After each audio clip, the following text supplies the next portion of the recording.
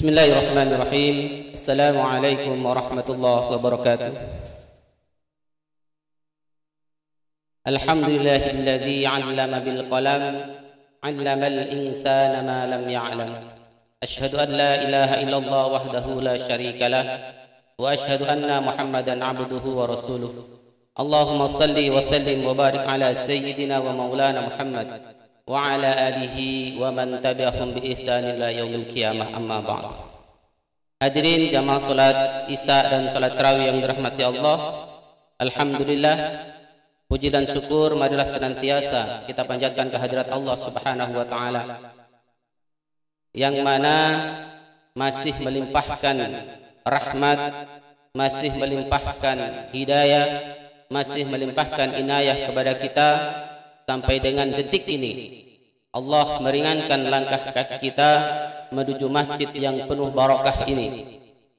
Semoga setiap langkah yang kita lakukan mampu menggugurkan dosa-dosa kecil kita dan mengangkat derajat kita di sisi Allah Subhanahu wa taala. Amin ya rabbal alamin. Salawat dan salam semoga senantiasa tercurahkan kepada baginda Rasulullah Muhammad sallallahu alaihi wasallam. Allahumma salli wa sallim wa barik alaihi. Hadirin jamaah salat Isya dan tarawih yang dirahmati Allah. Malam hari ini kami masih akan membahas tentang Al-Qur'an. Karena Al-Qur'an ini memiliki pesona yang luar biasa. Bahkan kita rela menahan rindu dengan anak kita, berjauhan dengan anak-anak kita supaya anak-anak kita itu belajar Al-Qur'an. Supaya mereka menjadi penghafal Al-Qur'an dan supaya mereka menjadi orang-orang yang mendakwahkan dan membumikan Al-Qur'an. Bapak Ibu yang dirahmati Allah Subhanahu wa taala, sejak Al-Qur'an diturunkan dan membuat kehebohan di jazirah Arab, apa kehebohan yang terjadi? Kesadaran berfikir manusia terbentuk saat itu. Hadirin yang dirahmati Allah, para budak, para pekerja kasar di pasar, para tukang perkebunan, dan semua pegawai-pegawai rendahan yang awalnya mereka sehari-hari hanya membicarakan tentang hobi mereka yang sehari-hari mereka hanya membicarakan bagaimana untuk mencukupi nafkah besok? Saat itu cakrawala berfikirnya mulai terbangun. Hadirin yang dirahmati Allah.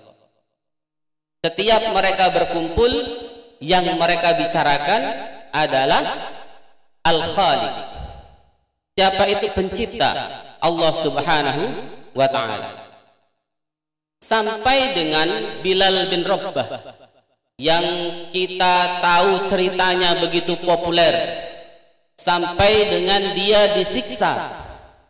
Di padang pasir dicambuk punggungnya ditindis perutnya dengan batu. Di panas yang terik. Alasannya kenapa hadirin yang dirahmati Allah subhanahu wa ta'ala? Sebelum Al-Quran ini diturunkan para budak para pekerja kasar mereka tunduk ya.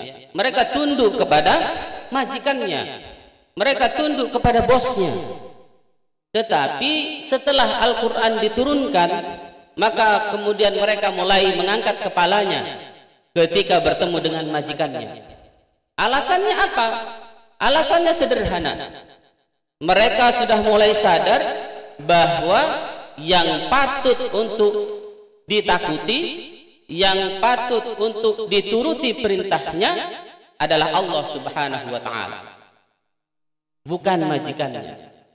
Dan kemudian di hadapan Allah semua manusia punya kedudukan yang sama. Kesadaran berpikir inilah yang kemudian membuat Bilal bin Rabbah berdebat dengan majikannya Umayyah bin Khalaf dia berdebat tentang ketuhanan. Sampai kemudian sang majikan ini kehabisan kata-kata. Sampai dengan sang majikan ini kehabisan kata-kata, tidak mampu kemudian menanggapi atau mendebat Bilal bin Rabah karena dia merasa dia berkuasa maka kemudian tindakan fisiklah yang dia lakukan tujuannya adalah supaya Bilal bin Rabah ini luntur keimanannya mau kembali menyembah berhala tapi yang terjadi justru sebaliknya hadirin yang dirahmati Allah justru keimanannya semakin kuat Hadirin yang dirahmati Allah Subhanahu wa taala. Kemudian pesona Al-Qur'an yang luar biasa ini juga ternyata menyimpan cerita yang sangat unik. Ya, sangat unik. Ada Wal Walid bin Mughirah. Ada Abu Jahal dan pembesar-pembesar Quraisy lainnya. Yang nyata-nyata ketika siang hari mereka itu menentang dakwah Rasulullah yang menyampaikan Al-Quran. Nyatanya tadi tentang hadirin yang dirahmati Allah Subhanahu wa taala. Tapi ternyata ketika malam kerap mereka itu mengendap-endap untuk mendengarkan Al-Qur'an. Sampai satu ketika Abu Jahal sedang mengendap-endap untuk mendengarkan Al-Qur'an tanpa sengaja dia bertemu dengan pembesar Quraisy yang lainnya. Mereka berdua sama-sama kaget dan membuat perjanjian. Tolong jangan disampaikan pertemuan kita ini karena pengen dengarkan Al-Quran. Hadirin yang dirahmati Allah Subhanahu wa taala. Coba kita bayangkan. Orang yang siangnya menentang tetapi malamnya ingin menikmati pesona keindahan Al-Qur'an. Hadirin yang dirahmati Allah Subhanahu wa taala.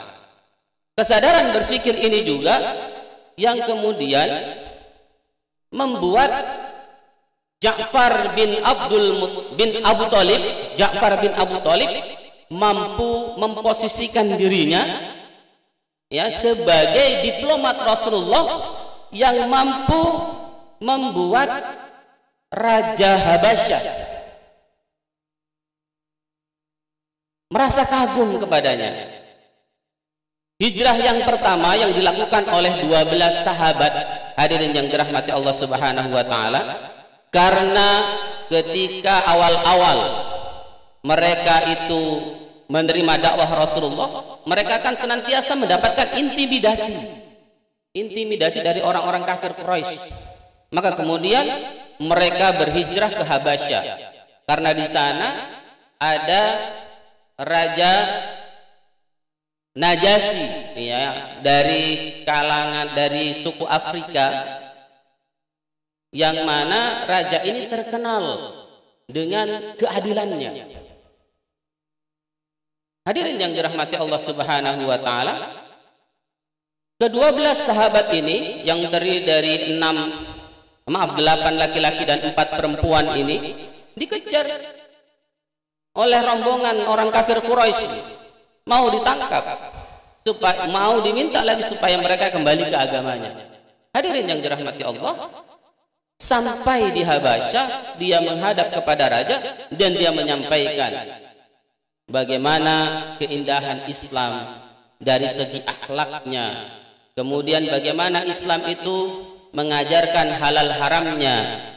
Kemudian bagaimana Islam juga memperlakukan orang-orang yang terdolimi sampai dengan dia mengatakan konsistensi dari keimanan ini melahirkan orang-orang seperti sahabat Nabi Isa kaum Hawariyun yang dikejar-kejar yang ingin ditindas yang ingin diperintahkan untuk kembali menyembah belahara kembali kepada agama lamanya maka hadirin yang dirahmati Allah Subhanahu wa taala setelah dia sampaikan ya pesona-pesona keindahan Al-Qur'an yang dibuktikan dengan akhlaknya para sahabat yang datang saat itu, maka kemudian Raja Habasya memberikan perlindungan kepadanya.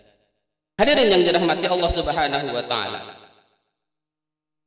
Keindahan Al-Qur'an inilah yang kemudian setelah para sahabat itu terbangun pola pikirnya cara mereka berpikir menjadikan orang-orang Quraisy ini merasa geram dan memberikan julukan mereka itu majnun. Majnun itu dalam arti positif. Hadirin yang dirahmati Allah. Seperti misalnya kita melihat anak-anak yang punya IQ luar biasa. Setiap pertanyaan dia jawab dengan benar. Pasti kita akan bergumam, uh, gila ini otaknya. Maksudnya seperti itu. Jadi mereka punya kesadaran yang luar biasa.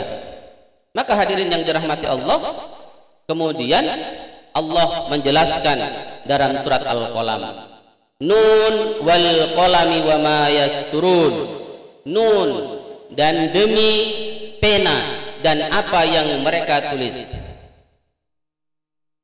Nun wal qalami wa ma yasturun. Ma anta bi ni'mati rabbika bimajnun berkat nikmat Tuhanmu wahai Muhammad engkau bukanlah orang gila wa inna laka la ajran ghaira mamnun sesungguhnya engkau memiliki akhlak yang agung.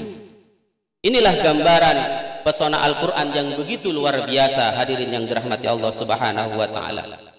Maka saya yakin sekali hadirnya Yayasan Darussalam hadirnya Yayasan Hidayatullah adalah untuk bersama-sama kita dakwahkan Al-Quran ini, kita bumikan Al-Quran ini. Jangan jauh-jauh menyekolahkan anak kita yang mau SMP di kota, Hidayatullah, insya Allah akan buka SMP, atau Darussalam MTS. Walaupun kami sebagai gurunya belum mampu memberikan 100%, tetapi setidaknya ada nilai-nilai akhlak yang kita tanamkan pada mereka sehingga Al-Quran bisa menjadi wujud dari setiap akhlak yang mereka tampakkan hadirin yang dirahmati Allah subhanahu wa ta'ala mudah-mudahan kita sebagai orang tua menjadi pelopor membuminya Al-Quran di bumi Indonesia ini sehingga muncul di situ kedamaian, muncul di situ ketentraman insya Allah. Mudah-mudahan bermanfaat. Kurang lebihnya kami mohon maaf. Billahi taufik wal hidayah. Wassalamualaikum warahmatullahi wabarakatuh. Waalaikumsalam warahmatullahi wabarakatuh.